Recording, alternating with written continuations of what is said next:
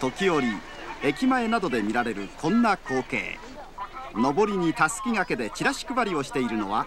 明るい選挙推進協議会の皆さんです。この明るい選挙推進協議会ってどういう会なんですか？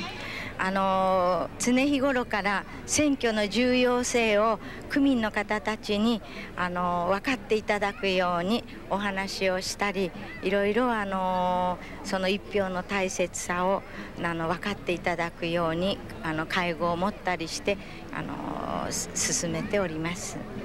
あのどういう方たちがやってらっしゃるんですか、はい、あの世田谷区全体の地域からあの各町会とか市長城の単位であの一応選ばれたというかあのまたあのご自分で進んでおやりになりたいという方たちが大勢あの199人ほど集まりまして、ま、全く自主的にあのいたしております。はい。大切な選挙なのですが街を行く皆さんはどう考えているのでしょう？聞いてみました。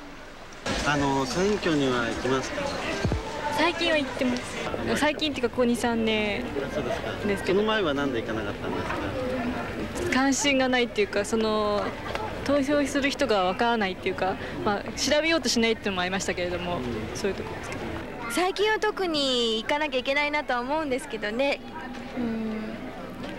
あんまり政治に興味がないっていうのもありますし、うん、親が行けばいいかななんて思ってます。私1票で私の1票でどうにかなるかなとかっていう不安もありますしね。それであんまり行こう行かなきゃとは思う反面ああでもなっていう感じです。うん今今まで投票したことないんですよね。どうして？これをやったから僕は今の生活があの楽になるとは思わないしうん今の生活に満足いけるような社会になるとは思わないんですよね。やっぱり熱心な方と無関心の方って割と分かれてるんじゃないですか？はっきりとね。まあ国民の審判って言ったら大げさですけどね。そういうことを反映するのはそれしかないですからね。今度は行こうと思ってます。今まであまり行かなかったけど。今まで行かなかったのはどうしてですか？やっぱあんまり関心なかったから。かいらっしゃらない方っていうのはうんこう要するに該当するそのなんていうのかしら。人がいないからとかそういうふうになってんじゃないですか。若い人が多いから世田谷は。じゃないかなと思いますけれど。一応行きます。一応ははい。今までもずっと行ってました？え一応行くのは行ってましたけどでも一ついまいちとそんなに興味はない、う。ん、そうですね。なんかあまりにも変わらないんじゃないかなっていうのが大きいんで、うまく言えないですけれどもね。あのー、まあ日本の国に生まれてねあの育ってきた限りにはおいては選挙っていうものはね必ず必要なもんだしあの国を良くしようと思ったら、まあ、あのみんな国民一人一人が一票一票を大切にねあの考えていかなきゃいけないかな。そういう意味では、まあ、選挙っていうのはもっと皆さん真剣にね捉えてほしいと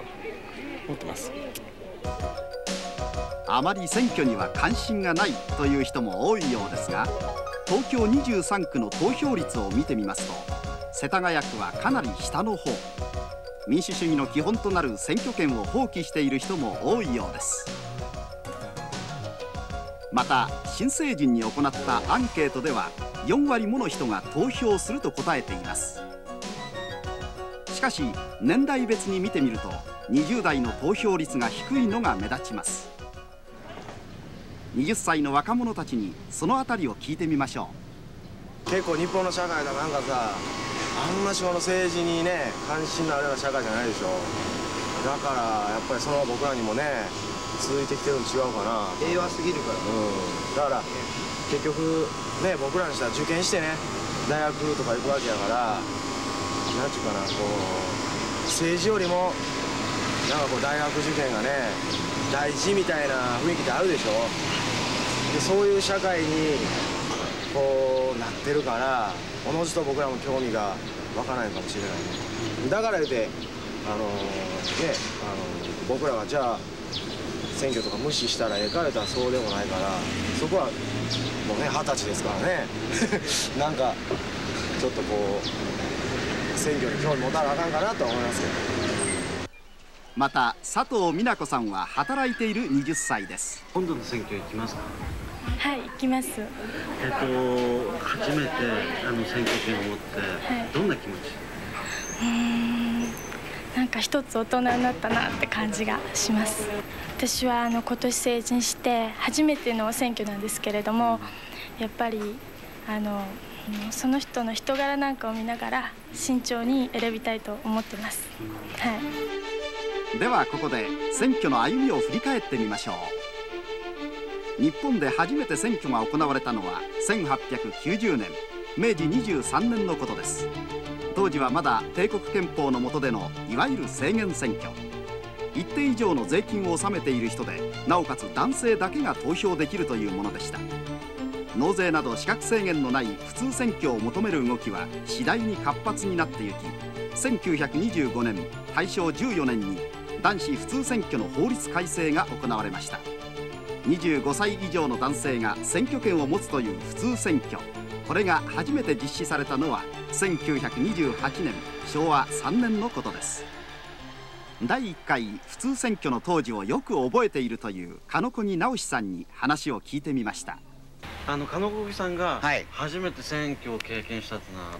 えー、世田谷の三宿におりましてね速記者と会社におりまして、えー、私が28歳か、うん、28歳。どんなお気持ちでしたか？うんそれはやっぱり嬉しいわね。初めてあの選挙権が与えられたわけだから、うん、だからまあ、うん、投票所に行っても他の人の顔もやっぱりみんな明るいようなあムードだったでしょうね、うん、うん、だって一票を初めて行使するんだから、うん、みんなそうだったんですね。みんなそうですよ。もちろん女性にも選挙権をという婦人参政権運動も続けられました。男女平等の選挙権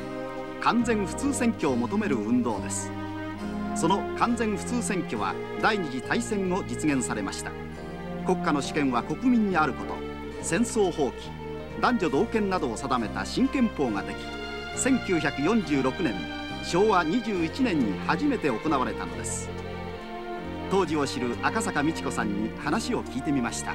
会場はね多分ね松沢小学校だと思いました。あの今その自分はあの松沢国民学校って言ってたと思いますけれどもあの母とそれから子供2人連れて行ったような記憶がございますけれど。はい、あの女性たちにとっては初めての選挙権ですよね。はい、あのやっぱりあの婦人たちの間ではやっぱりそういった機運なんかありました？そうですね機運っていうか、まあ、今思いますとそれまであの男性ばっかりが投票して私どもにはさんあの選挙権がございませんでしたけど、まあ、その一票を国の祭りごとの中に入れられるっていうことで大変、まあ、あの男女同権に近くなっていくっていうことであの、まあ、責任もございますけどねやっぱり嬉しいございましたね。いやもうあの選挙権を得られたってことが今の日本の女性には本当にプラスになってると思いますね。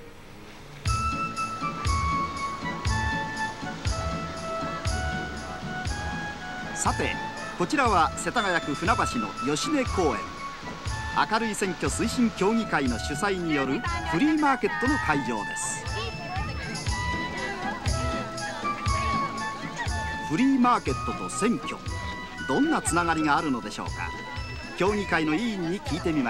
した。やっぱり地域の方たちとこう知り合いにならないと選挙投票に行ってねとかっていう言葉もなかなかかけにくい部分があるものですからもう地域の人たちとのつながりを持ちたいということしか1年なんでそれだけなんです。それでそれがこうつながっていってね皆さんと顔見知りになれればこんないいことないと思ってます選挙の運動っていうよりもあの皆さんがあの投票日を忘れないようにとか投票に行ってくださるということを第一条件としてその辺を PR していけたらなっていうことも考えてますなるほど工夫を凝らして明るい選挙推進協議会ではさまざまな活動を繰り広げているわけですね。この他にも講演やバザーを通して有権者の啓発を図る集いや標語シンボルマークポスターなどの募集機関誌の発行そして地域の有権者を招いての話し合いなど活動は実に様々です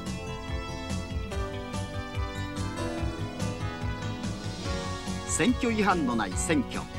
危険のない選挙を目指して明るい選挙推進協議会では委員一同一生懸命努力しているのですね。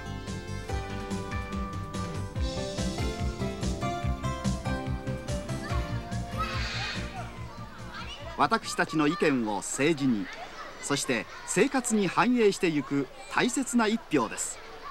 その選挙権についてもう一度20歳の若者の声を聞いてみましょう。関心ない人もやっぱりいますよね。だけどやっぱり本当に自分たちのことだから大切に選挙とかしていかなきゃいけないなって思います。やっぱり私たちにもちちっちゃい1票ですけど何らかの影響はあるわけですよね。やっ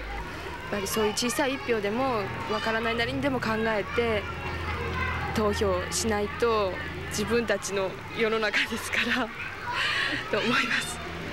それぞれが1票ですけどもそれぞれがそれぞれで集まって十何万票とかになるんですからやっぱり1票でも大切なものだと思いますけど。